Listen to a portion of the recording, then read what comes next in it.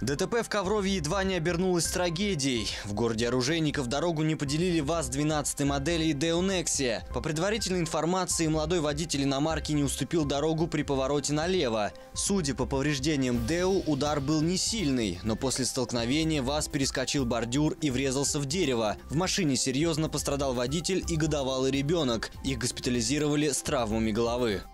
Обвиняются в хранении и сбытии синтетических наркотиков. Под суд пойдут двое владимирцев. По версии следствия, 38-летний мужчина и 20-летний парень сбывали синтетику в гусь хрустальном. Их накрыли в конце июля с поличным во время закладки наркотиков в тайник. В автомобиле обвиняемых оперативники нашли 2,5 грамма синтетики и еще 80 граммов, припрятанные в укромном месте. Предполагаемым сбытчикам грозит до 20 лет тюрьмы.